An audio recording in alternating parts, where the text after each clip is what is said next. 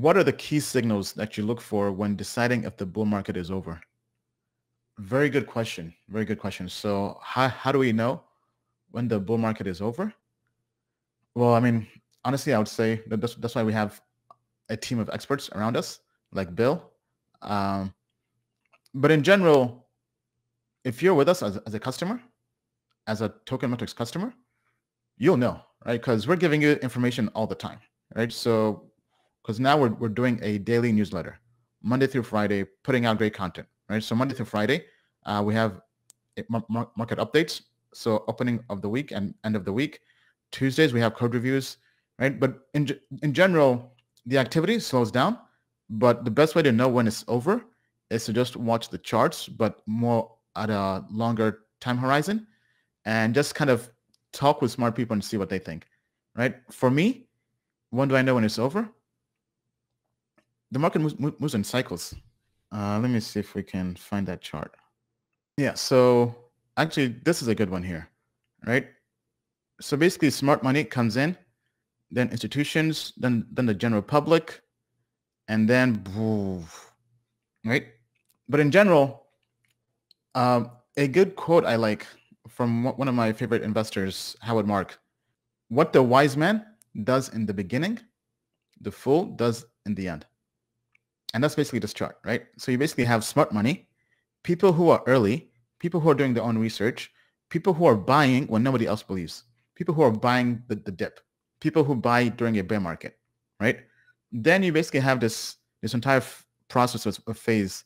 And then eventually you have people who are less sophisticated, who haven't really done the research FOMO, that FOMO into it, right? Kind of like like Games, GameStop, right? GameStop, Dogecoin, but same thing with Bitcoin. Bitcoin back in 2017, because uh, I got into Bitcoin at around 850 bucks. It was, it was basically under nine under 900, uh, and then it went to 1,000, and then all the way to 19,000, right? And then people who had no business or who, who knew nothing about crypto were trying to buy Bitcoin. So when you see things like that, that's that's a tip or a sign that hey, you know what? Maybe take some profits, right? If if all your friends who never believed in crypto, all of a sudden are trying to buy crypto and are calling you, take some profits. You know, put some cash in the bank, um, even though it's fiat. um, buy yourself whatever you're, you're trying to buy, whether it's a home, pay off your debt. Just take profits, right? So, because for me, the sign, like looking back at the last bull run, um, I was basically at the barbershop, right? And I overheard the barber and a customer talking about Bitcoin. And I was like, this is pretty funny because I've been told that when you hear things like this, like when you hear the shoe boy giving his talk tips, take profits or cash out, that's the top. And I, and I said, you know what? It's not the top. but looking back, that was the top. Basically, when, when things that seem weird, right, start happening, take some profits. It might not be the top, but it might be close to the top, or it might just be a good time just to take profits in general, right? So looking at this chart here, I would say just kind of ask yourself, where are we now? So right now in this market, Bitcoin is almost at 50K. Uh, Ethereum is almost two, 2,000. Where are we? I think we've basically been in this phase, right?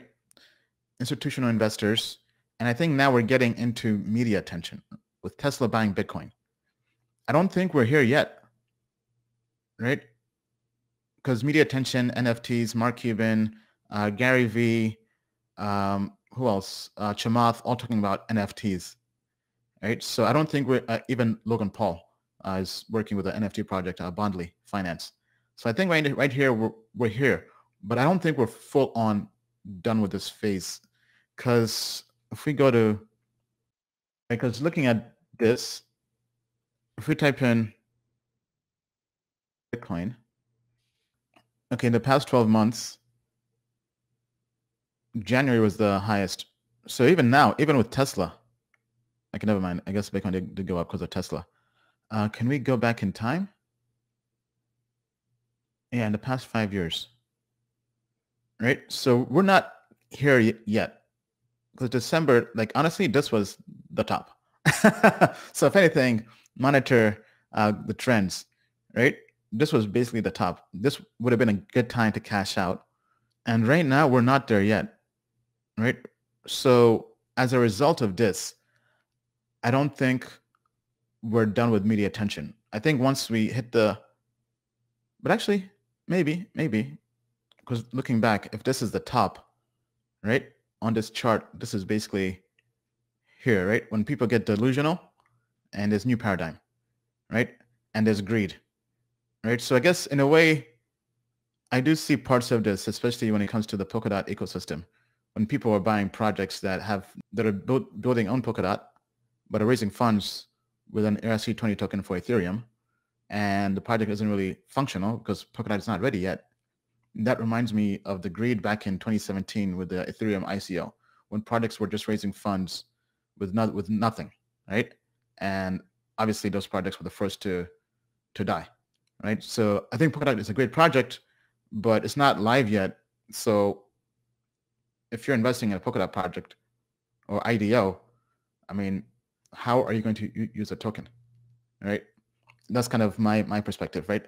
So to me, it's basically a trade, right? And if it's if it's trade, it's speculation. If if it's speculation and there's lots of FOMO, because of because people are making money like 50x or 100x's, that's basically greed, right? That brings greed. So right now, I would say we're not there yet. I, I would say we're basically somewhere here. But uh, let me know what you guys think uh, down in the comments below.